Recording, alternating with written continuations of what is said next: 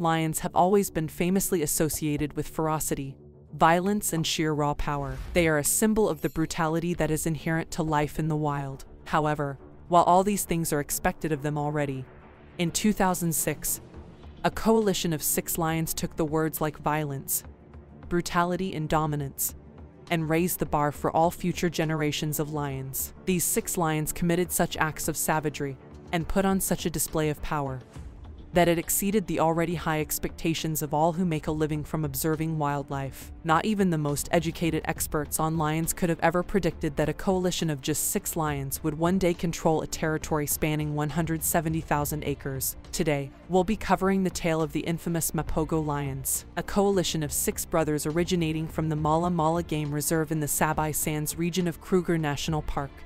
South Africa. These lions belong to the Sparta Pride of the region. Let us introduce you to each member of the band of brothers. First, we have Makhulu, the oldest of the Mapogo brothers. Makhulu was the only one out of the six that was not their real brother. It is believed that the Sparta Pride lost a cub of the same age and Makhulu joined in and took his place. Normally, a pride would never accept such an intruder, which is why experts believe that Makhulu might be the Mapogo's half-brother his father being from the Sparta Pride and his mother belonging to some other pride. Because of this biological difference, Makhulu was also significantly bigger than his brothers and hence became their leader. Secondly, there is Pretty Boy, named as such because he was a calculated and strategic fighter which had fewer scars on his face because of it. At number 3, there is Mr. T, named as such because of the distinctive mohawk-shaped mane reminding everyone of the iconic A Team character. Fourth position belonged to Scar, whether he was named as such to evoke the memory of Simba's uncle, or because of the scar on his spine, is unclear, probably the latter, because he was also known as Skew Spine. At fifth place stood Rasta Aka Dreadlocks, who had something caught in his mane causing it to twirl into dreadlocks. And finally, at number 6, there was Kinky Tail, who simply had a kink in his tail as an identity marker. If you ask me, coolest name in the group, least coolest reason for it. But how did their reign begin? As young lions, these six brothers were kicked out of the Sparta Pride in 2006. They started out by scavenging food from lioness hunts. In lion prides, it is the females that take care of the hunting activities while males are responsible for protecting territories. However, these six males soon became experts in hunting big game such as buffaloes, rhinos, and even giraffes. It was the buffalo hunting where they truly shined. More than any lion coalition before them, and there was a reason for it. Buffaloes are one of the strongest creatures in Africa. They weigh roughly 937 to 1,918 pounds. Not many creatures mess with them unless they're desperate for food or maybe feeling a little extra confident that day. Female lions, only weighing 270 pounds, have a hard time taking on buffalo and wouldn't go for one if they have another choice. However, this coalition was composed entirely of males weighing a decent 420 pounds. This meant when they wanted buffalo, they went out and got them some, according to predator expert Dave Salmoni.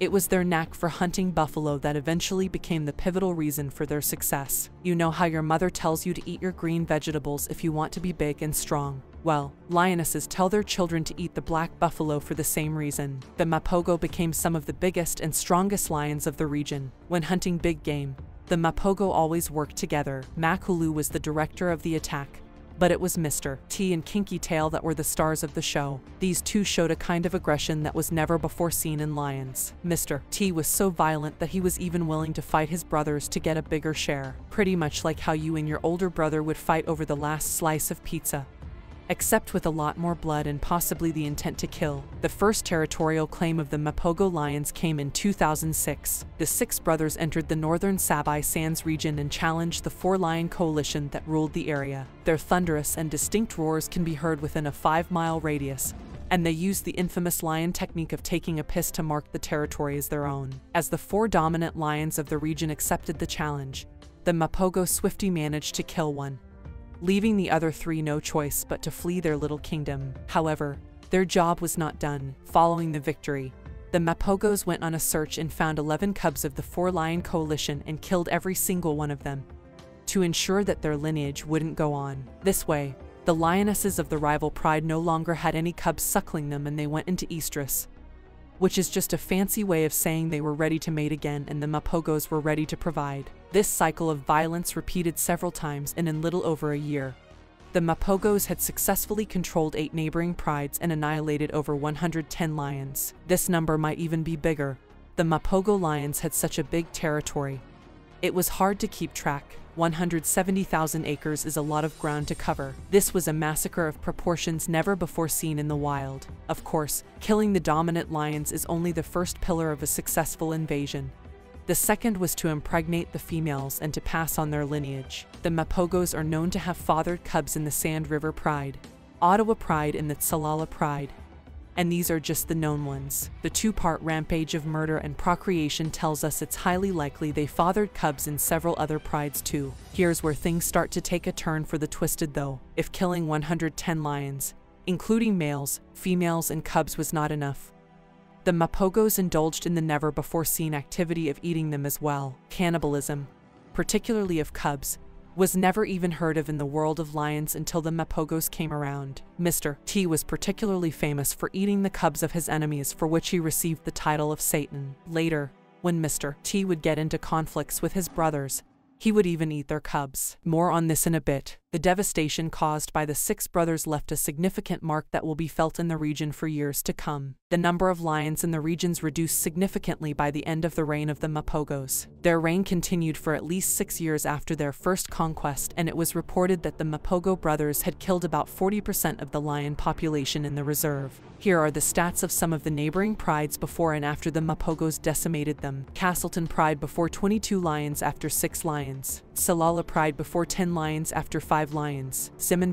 Pride before 10 lions. After 0. Completely decimated. Since you've made it this far, what do you think of the story of the Mapogo lions? Have you heard of this legend before? Let us know in the comments below. However, as magnificent, and also horrific, as the reign of the Mapogo brothers was, all great things come to an end for the Mapogos. This began when family feuds broke out between Mr. T and Makhulu around 2008. Mr. T fought Makhulu in a violent clash that ended when Makhulu severely bit Mr. T's leg to end the confrontation. After this, Mr. T and Kinky Tail, the two most violent members of the group, went their own way to rule the northern region of Mapogo's territory. For two years, the two lions managed to keep a firm grip on their territory.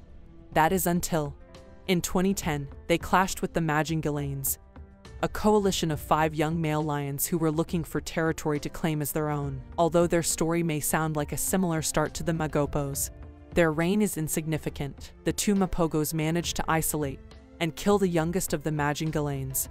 But later the same night, Kinky Tail came across the remaining four Majingilanes. Having been a dominant lion his whole life, Kinky Tail had no concept of fear and took on all four young and ambitious lions by himself.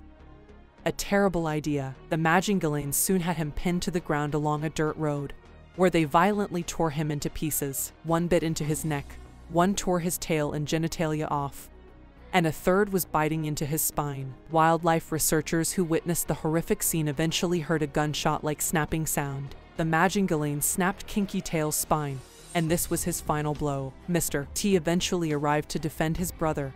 However, he had no chance against four lions and was chased off. What followed was another horrific spectacle. The four Majingilanes began eating Kinky Tail while he was still breathing. By the time he took his last breath, they had already digested most of his rear legs. All that remained in the morning was one of his paws and nothing else. Mr. T surrendered his territory and went back to his brothers to rejoin them. It seemed he was peacefully coexisting with them for a while. But he was named Satan for a reason. It was soon discovered that he was eating the cubs of his brothers when they were not around to stop their lineage and to mate with the females of his choice. What a prick. Rasta was believed to be killed by poachers and Scar was shot by the locals after he tried to leave the Sabi Sands Reserve. In March 2012, Mr. T fell victim to another coalition of lions known as Selatis. He was found with a deep bite wound in his back that paralyzed him from the waist down and several other injuries all over his body. Following this event there were only two Mapogos left of what was once a glorious band of brothers. The now older lions, Pretty Boy and Makhulu, left their territory, forfeiting it to the Selatis. The last time they were seen together was in November 2012, doing what they did best, feeding on a buffalo perhaps reminiscing the glory days. The last sighting of a Mapogo was of Makhulu, all alone, in his homeland of Mala Mala in 2013. At this point Makhulu was 15 years old. This is almost 90 or more in human years. The terrible and horrific reign of the Mapogos was at an end, but it had changed the face of the Sabi Sands and the Kruger National Park region forever. If you enjoyed our content, please like and subscribe. See you later.